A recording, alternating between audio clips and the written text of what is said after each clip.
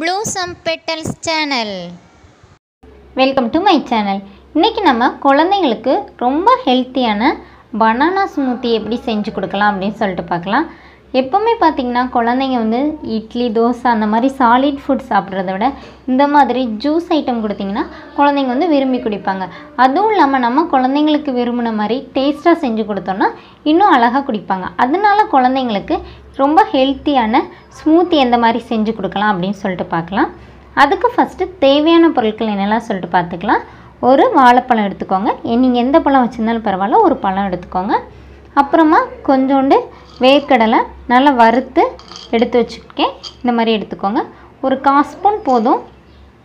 அப்புறமா உங்கள் இனிப்புக்கு தகுந்த மாதிரி கொஞ்சம் வெள்ளம் எடுத்துக்கோங்க. இல்லாட்டி நாட்டு சர்க்கரை கூட நீங்கள் எடுத்துக்கலாம்.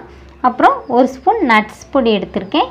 கொஞ்சமாக கொக்கோ பவுடர் கொக்கோ பவுடர் எதுக்குன்னா குழந்தைங்களுக்கு அந்த சாக்லேட் ஃப்ளேவரில் கொடுத்தோன்னா ரொம்ப விரும்பி குடிப்பாங்க. அதுக்காக கொக்கோ பவுடர் எடுத்திருக்கிறேன். நீங்கள் வேணாம் அப்படின்னு ஃபீல் பண்ணிங்கன்னா ஸ்கிப் பண்ணிக்கோங்க.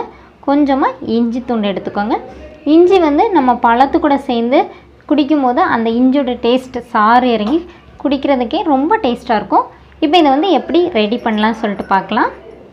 இப்போ நான் வந்து நேந்திரம் பழம் எடுத்திருக்கிறேன். நீங்கள் வந்து எந்த பழம்னாலும் எடுத்துக்கலாம். நேந்திரம் பழம் வந்து குழந்தைங்களுக்கு ரொம்ப சத்தானது. அதனால் நீங்கள் இதுவே குழந்தைங்களுக்கு கொடுத்தீங்கன்னா ரொம்ப நல்லது தான் கட் பண்ணி போட்டுக்கலாம். இப்போ இது கூட நம்ம எடுத்து வச்சுருக்கிற கடலை சேர்த்துக்கலாம். அப்புறமா இனிப்புக்கு தகுந்த மாதிரி வெல்லம் சேர்த்துக்கோங்க. நட்ஸ் பொடி சேர்த்துக்கலாம். நான் வந்து இப்போ இது கூட பால் சேர்த்து அடிக்க போகிறேன் நீங்கள் வந்து தேங்காய் பால் சேர்த்துக்கலாம். இல்லாட்டி நான் எப்போ சொல்கிற மாதிரி ஒரு அஞ்சு பாதாம் வந்து நல்லா ஊற வச்சு எடுத்துக்கோங்க. அதை மிக்சியில் அடித்து பாதாம் பால் எடுத்து அதையும் கூட சேர்த்துக்கலாம். குழந்தைங்களுக்கு அதுவும் ரொம்ப நல்லது. இஞ்சி சேர்த்துக்கலாம். அப்புறமா கொக்கோ பவுடர் வந்து லைட்டாக சேர்த்துக்கோங்க. இப்போ இதை வந்து நம்ம பால் சேர்த்து ஹையில் வச்சு ஒரு நல்லா அடித்து எடுத்துக்கோங்க காட்டுறேன். பாருங்கள் இப்போ நம்ம வந்து ஸ்மூத்தி வந்து சூப்பராக ரெடி பண்ணிட்டோம். இப்போ இதை வந்து கப்பில் மாற்றிக்கலாம்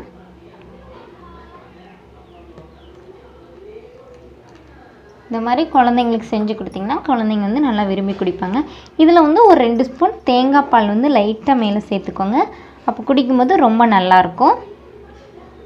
இப்போ நம்மளோட ஸ்மூத்தி வந்து ரொம்ப அழகாக ரெடி ஆயிடுச்சு நீங்களும் உங்கள் வீட்டில் இது மாதிரி செஞ்சு உங்கள் குழந்தைங்களுக்கு கொடுத்து ட்ரை பண்ணி பாருங்கள் ஓகே வீவர்ஸ் இன்னும் எங்கள் சேனலை சப்ஸ்கிரைப் பண்ணாதவங்க மறக்காமல் சப்ஸ்கிரைப் பண்ணுங்கள் உங்கள் ஃப்ரெண்ட்ஸ்க்கும் ஷேர் பண்ணுங்கள் உங்களுக்கு வேறு எதுனா டிப்ஸ் பற்றி ஐடியா வேணும்னா மறக்காமல் கமெண்டில் கேளுங்கள் எங்களோட குட்டி தீட்டா சேனலையும் மறக்காமல் பாருங்கள் ஓகே வீவர்ஸ் இன்னொரு அழகான டிஷ்ஷோட இன்னொரு வீடியோவில் உங்களை மீட் பண்ணுறேன் தேங்க்யூ